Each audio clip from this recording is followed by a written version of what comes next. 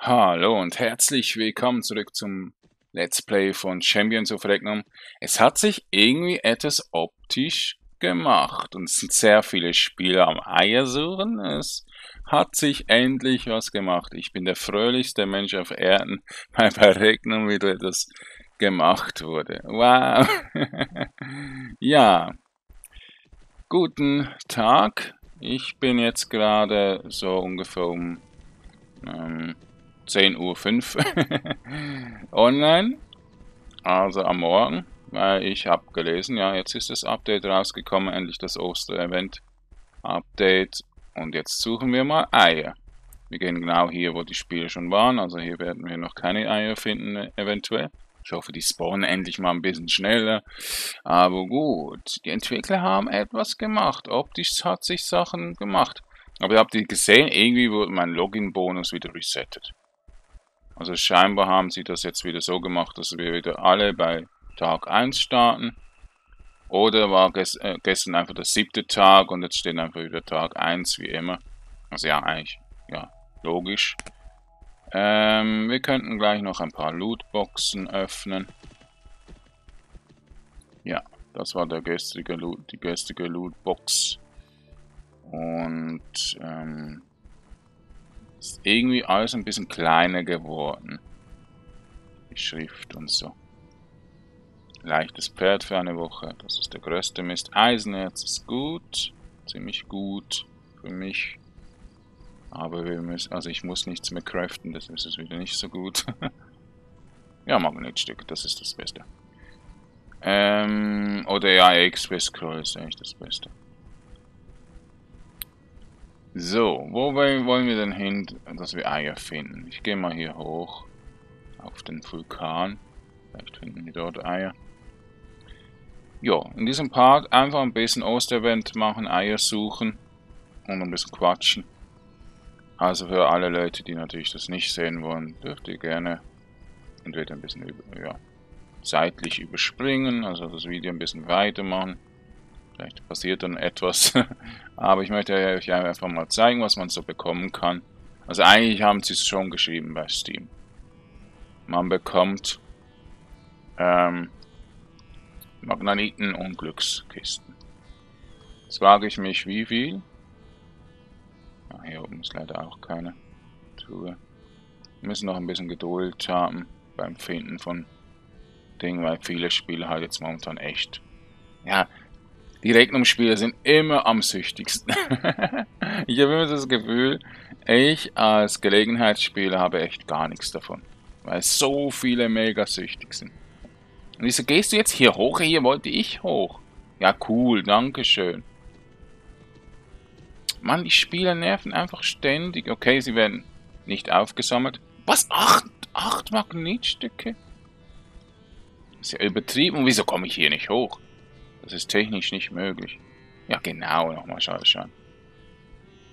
Okay, okay. Regnum nervt wieder, weil man Ostereier sieht und nicht erreichen kann.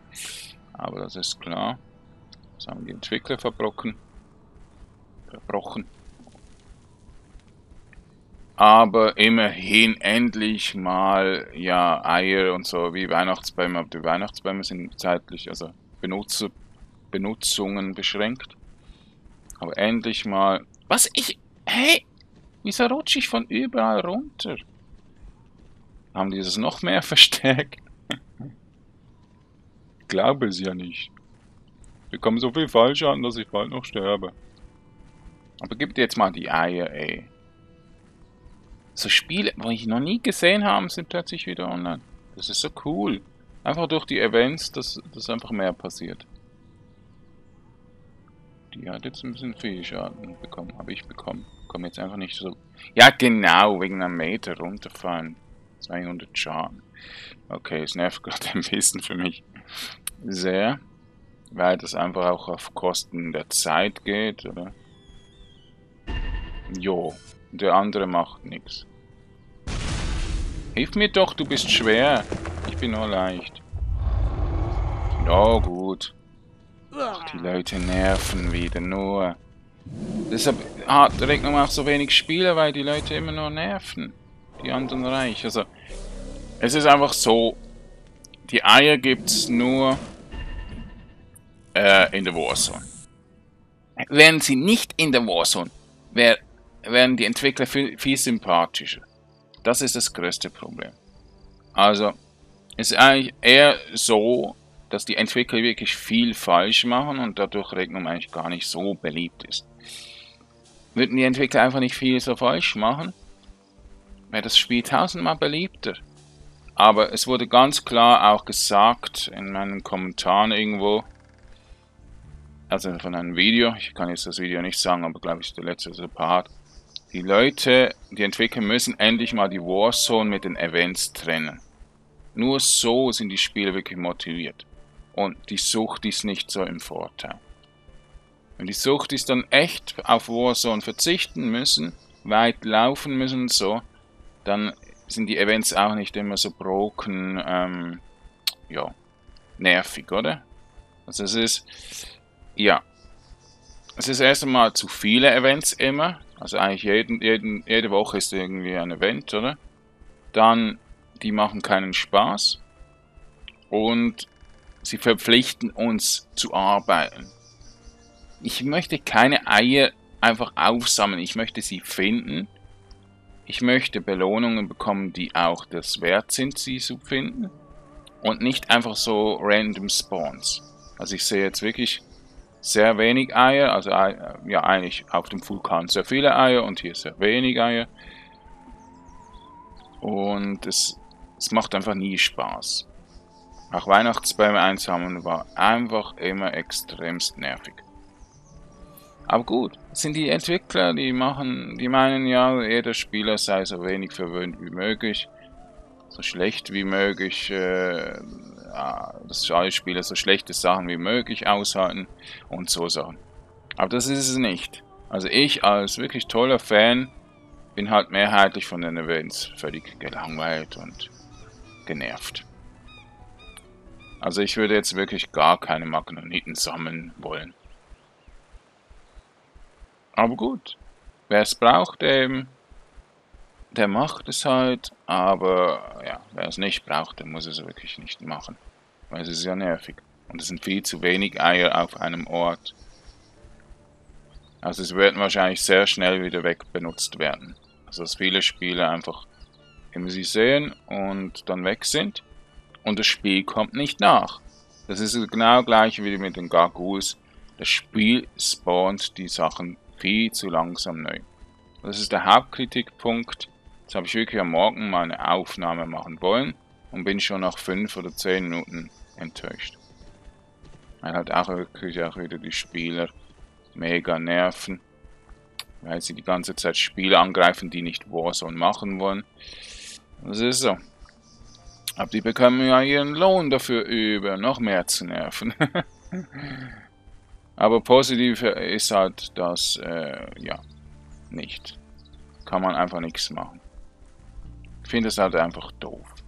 Man sollte wirklich endlich mal ein paar Game Master einstellen, die ein paar Spieler, die wirklich schlecht spielen, also nervig spielen, einfach bannen, fertig. Einfach aus dem Spiel ausschließen. Aber es kann doch nicht immer sein, dass man ständig von irgendwelchen Söten gekillt wird, wenn man irgendwas sucht. Man greift ja die nicht an. Dann sollten die eigentlich auch nicht angreifen können. Es ist einfach viel zu nervig. Und ja, jetzt sind immer Events, dadurch bin ich immer mehr genervt. Es staut sich, also es ist extrem, oder? Mal ein bisschen leveln können, nein, es, es leveln zu viele Monster am gleichen Platz. Äh, Spielen auf dem Platz und greifen die Monster weg. Also, dass sie wirklich weg sind. Killen die Monster zu schnell. Es, ich kann nicht mehr leveln. Ich kann nicht mehr Events aushalten, weil immer Events da sind. Ich kann eigentlich momentan einfach nur Glück haben, dass ich wenigstens viel Zeit habe zum Spielen, weil man braucht sehr viel Zeitverlegung und sehr viel Frustresistenz. Das ist leider so. Aber dafür macht das Spiel auch vieles Richtiges. Also die Motivation, ähm, ja, zu spielen, ist extremst. Es schafft kein anderes Spiel, mich so zum Z Spielen zu zwingen. Das ist einfach diese gute Sache. Und einfach, dass die Qualität jetzt auch wieder besser ist, motiviert mir sicher auch sehr viel. Nur, dass ich jetzt einfach gerade wieder so genervt bin, ist halt nicht so toll. Und wo sind die Eier denn sonst noch? Es gibt keine Eier mehr. Sie sind nur am Vulkan, oder was? Wo sind denn die Eier? Mann, ich bin wieder genervt. Ich bin, ich bin äh, motiviert, ganz sehr motiviert, aber auch genervt. Und das macht so einen ganz komischen Spielrhythmus. Also, dass ich immer ständig wieder so, so Hacken habe. Oh, ich nerv mich wieder über etwas. Aber das Spiel eigentlich immer liebe. Ich mag doch das Spiel so sehr. Nur eben hätte ich das schon gerne ein bisschen besser. Kann doch nicht sein, dass die Entwickler immer noch nichts machen wollen.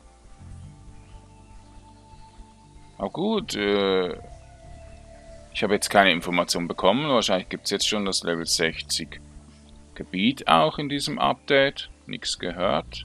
Aber ich denke eher nicht. Jetzt haben sie einfach mal ein optisches Update gemacht. Das ist toll. Wenigstens optisch.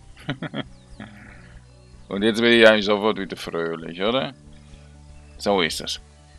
In Rechnung gibt es viele Sachen, die einfach nerven, aber eigentlich immer viele Sachen, die wieder fröhlich machen.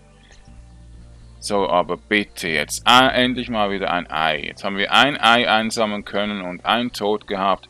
Es ist für mich nicht rewarded. Diese Reward stimmt einfach gar nicht. Das ist das Hauptprojekt. Und es sind wirklich sehr viele Spieler am Suchen. Ja. Es zeigt eigentlich, die Spieler sind auch alle recht motiviert, solche Sachen zu suchen. Aber ja, ich denke, das sind halt arme äh, Argentinier meistens oder arme Deutsche, die jetzt nicht so viel ähm, gute Spiele kaufen können oder so.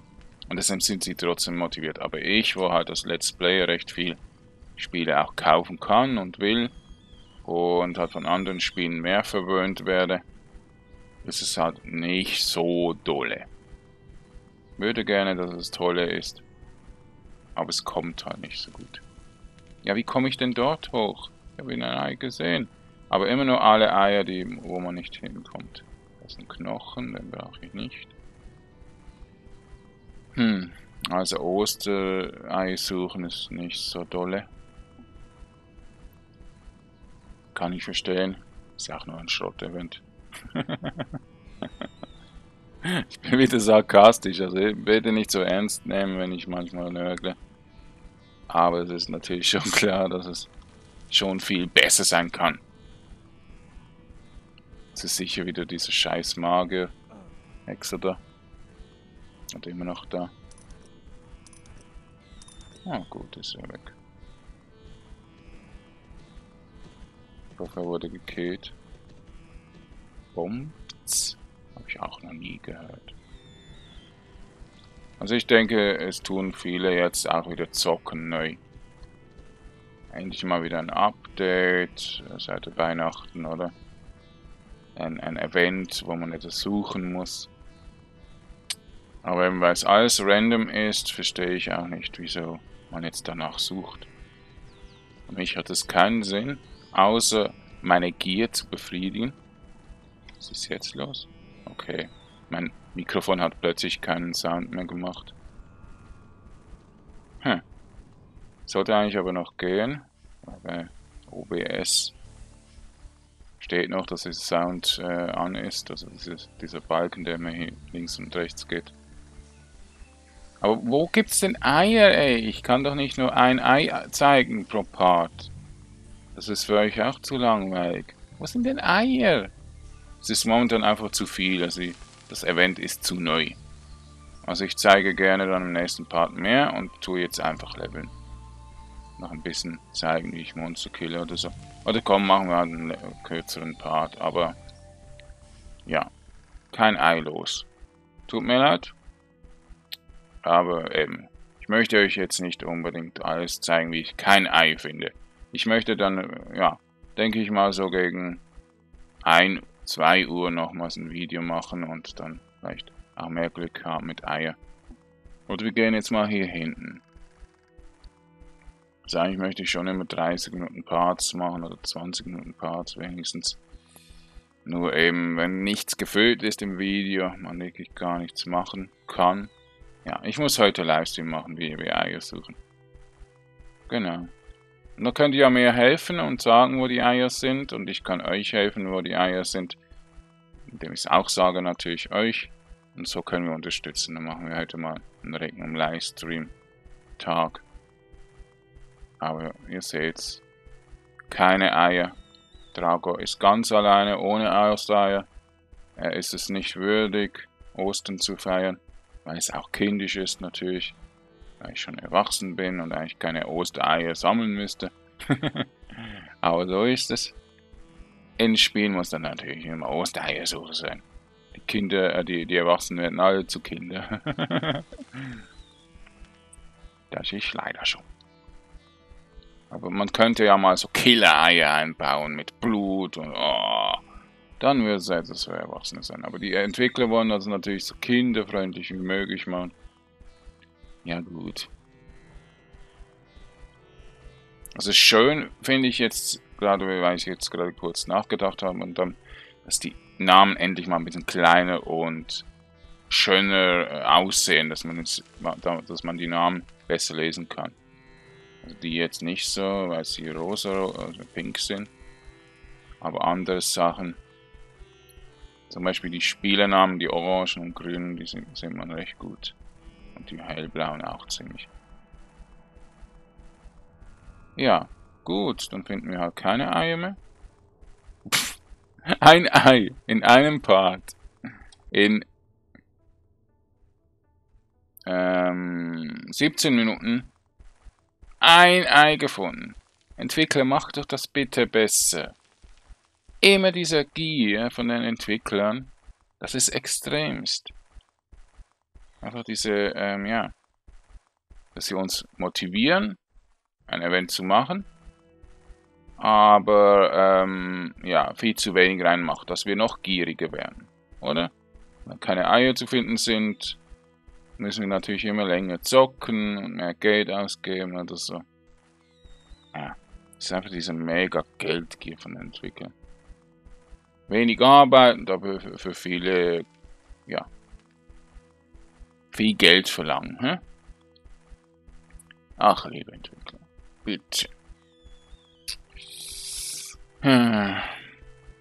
Also ich werde manchmal echt ein bisschen gezwungen aufzuhören mit der Regnung, weil es einfach die Entwickler wollen. Weil sie es einfach nicht gut machen. Hm müssen wirklich Entwickler mega wenig machen. Sind die nicht gebunden an irgendwie an einem Erfolg? An, an Nettigkeit? Denke schon. Also wenn ich jetzt so bedenke, Regnum ist jetzt nicht gerade so ein gutes Beispiel oder so, aber andere Spiele, zum Beispiel sagen wir League of Legends. Das war ja ein Game, das ich 2013 recht lange gespielt habe, aber nie den Erfolg den ich brauchte, hatte, weil ja das Matchmaking-System damals noch nicht so gut war und eigentlich immer wieder verloren habe, dadurch, dass die Mitspieler so schlecht waren und die Gegner so gut waren. Ja, bin ich dann einfach äh, immer wieder enttäuscht gewesen, weil das Balancing so mega katastrophal schlecht ist. In der Regnung ist es ja auch ein bisschen schlecht, aber ja, ein bisschen. Aber ich meine einfach, es stört nicht so. Aber in einem PvP-Spiel, wo es wirklich um Runden geht, ist es viel schlimmer. Aber wir haben heute immer noch mega Balancing-Probleme. Schaut euch mal ein paar Videos von YouTubern an, die darüber reden oder so. League of Legends immer noch katastrophal unbalanciert. Und ja, Regnum auch, aber ein bisschen weniger. Und ähm, das macht halt einfach, also ich kann nur einmal Ah, ich habe 8 Magneten bekommen, also ich habe schon geklickt. Äh, aber das stört uns Spiele eigentlich nicht mehr so. Es ist halt meine Kritik, weil ich auch ein bisschen Perfektionismus verlange von den Entwicklern, oder wenigstens ein bisschen mehr ähm, Vorbereitung, bis sie etwas reinbringen. Weil Patches kommen raus, alles verpackt. Patches kommen raus, alles verpackt. Und das ist jetzt nicht so die Qualität, die ich gerne hätte. Also, äh, optisch ist ja jetzt gar nichts verbuggt. Also die, die, Namen und so sind alle gut zu lesen. Das ist das Ei, das wir genommen haben, gell? Naja. Ja. Der andere sieht das Ei nicht. Doch, jetzt hat er es gesehen. Aber manchmal kann ich schon ein bisschen frech sein. Aber gut. Ah, ich bin halt kein Sunnyboy. Nein, so Witze kann man ja machen, wenn man nicht andere damit beleidigt. Aber man muss es halt auch akzeptieren können, oder? Ich werde ja auch immer wieder ein bisschen gemobbt. also einfach ein bisschen schelmisch angemacht. Ja, der Drago, der hat wieder etwas nicht gesehen, ja. Wo sind die Eier? Ich sehe sie nicht. Ich habe erst zwei Eier einsammeln können und mehrere gesehen. Aber ja, es ist, es ist chillig, ja. Aber weil es so viele gute Sachen gibt, gute Spiele gibt und so, fallen halt auch einfach auch negative Sachen mehr auf. Das ist das Problem, das ich momentan habe. Ich spiele gerne Regnum, Minecraft, äh, der Elder Scrolls Online und so weiter. GTA Online ist ja auch mega verpackt und unbalanciert und so. Aber die guten Sachen fallen nicht mehr so auf, weil die guten Sachen wirklich auch drin sind. Sonst würden wir ja gar nicht spielen. Nur ähm, viele Leute haben einfach irgendwie das Problem, dass sie nicht gerne negative Sachen hören. Ich höre gerne negative Sachen. Aber es wäre ja auch besser, wenn ich positive Sachen oder mehr positive Sachen höre. Nur ist es jetzt zum Beispiel bei Champions of Regen auch ein bisschen, äh, ja, ja, mehrheitlich halt negativer. Also Nein, es ist schon noch viel mehr positiv. Nur eben die negativen stechen halt auch mehr raus. Und das ist jetzt in solch einem Part, wo ich jetzt wieder nicht viel spielen kann, nur Osteier sammeln kann, halt auch schwer. Also nicht wundern, wieso der Part jetzt wieder ein bisschen negativer war vom Spiel heraus, also fürs Spiel. Aber ja, das muss halt auch einmal gesagt werden und so weiter. Ihr seid ja trotzdem wahrscheinlich auch nicht so mega Fan, oder? Also eventuell halt ein bisschen süchtig nach dem Spiel, aber so mega Fan seid ihr auch nicht, dass ihr das nicht gerne akzeptiert. Ich habe ja vor äh, einem Tag ein Video gemacht über ein Bosskill. Hätte gedacht, ja, es würde euch gefallen. Aber drei Dislikes über Nacht bekommen. Dann dachte ich einfach, wieso? Wieso schauen die denn das überhaupt? Wieso wollen die denn überhaupt disliken? Ja. Das ist auch etwas Negatives, oder? Das ist, ähm, ja, für mich nichts Schlimmes. Aber wieso wird jetzt ein Video äh, disliked, wo ich zeige, wie ich, wie ich mit anderen Spielern einen Boss kill? Ist es vielleicht langweilig gewesen? Okay, dürft es gerne schreiben, dieses Video ist langweilig. Aber einfach disliken und mich so ein bisschen verwirren lassen, ich weiß es nicht, aber wahrscheinlich seid ihr es gar nicht gewesen, sondern wirklich fremde Leute. Oder eher nicht so fremde. Ich weiß nicht, ich habe jetzt mal eine Abkürzung hier runtergenommen. Aber es hat sich nicht gelohnt, weil... Wurden wir langsam? Sind wir jetzt langsamer geworden? Weiß das jemand? Also es sieht so aus, als würde ich jetzt wirklich ganz verlangsamt werden, wenn ich so viel Schaden bekomme. Durch Fallschaden. Wurde das jetzt geändert? Kann mir jemand einen Link zu den Patch Notes, weil Discord komme ich ja nicht mehr rein. Also kann ich die auch nicht mehr so schauen. Kann mir da irgendwie jemand vielleicht einen Screenshot oder so posten bei Discord? Ja, die machen gar keine Patch Notes, oder? Ich glaube, die machen gar schon seit langem nicht mehr. Also seitdem dieses New Down, äh, ja, New Down Entertainment heißt der Entwickler, ja mit einem neuen äh, Ding, der ne-, mega nervt. Also wenn ihr jetzt ins Game reingeht, dann kommt so ein mega Plop-Geräusch. Das nervt irgendwie mega. ja, ja. Aber gut, das sind die Entwickler, die müssen auch ein bisschen Aufmerksamkeit bekommen mit dem Generve. Ja. Schnell noch die Spiele. Ah, Bern. Das ist in der Schweiz. Den kenne ich, glaube ich, vom Namen her. Also der ist mir schon mehrmals habe ich den zu Gesicht bekommen. So.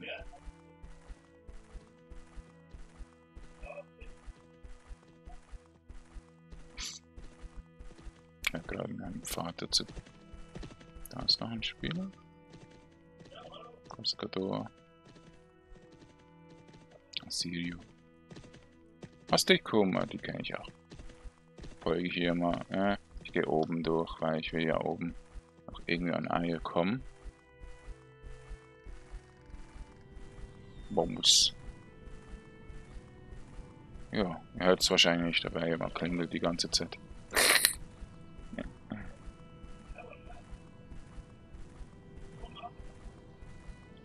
Ah, ist ein Ausländer, okay. Gar nicht so gut Deutsch.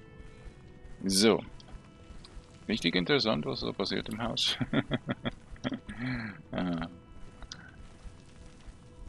Ja, ich bin jetzt in der Aufnahme, sonst gehe ich immer an die Klingel.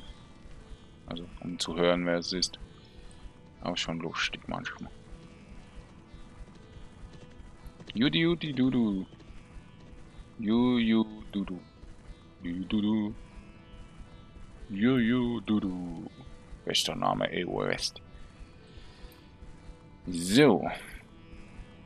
Dann ist leider der Part wieder weg, also vorbei, denke ich. Ja, ziemlich bald. Ähm, sorry, dass es ein bisschen langweilig war. Kann halt manchmal passieren, wenn wir Events machen oder so. Okay, da hat jemand sich teleportiert. Wieso geben die Leute Geld aus für Teleport? Oder bekommen die das geschenkt manchmal über? Ich denke schon manchmal geschenkt eher. Ah, endlich mal ein Ei, das wieder erreichbar ist, aber mit Fallschaden verbunden, ja. Und Glückkiste Bronze, ein super Ende. Rüstung. Hut der Perfektion, Glückspilz. Wow, und den können wir auch tragen, also das ist auch in unserem Level. Toll. Das ist jetzt wirklich ein Upgrade. 176, 192. Wow. Okay, ich werde noch ein bisschen mehr Auseier suchen, wenn das schon mit einer Glückkiste Bronze belohnt wird, immerhin. Aber das ist die schlechteste, ne, die schlechteste ist ja Login-Bonuskiste. Haben wir leider keine mehr. Ja, wie hieß die? Muss ich dann ein paar nochmal schauen. Ja. Also dann, bis zum nächsten Mal, euer Drago Basler. Tschüss. Oh, wir sehen cool aus. Tschüss.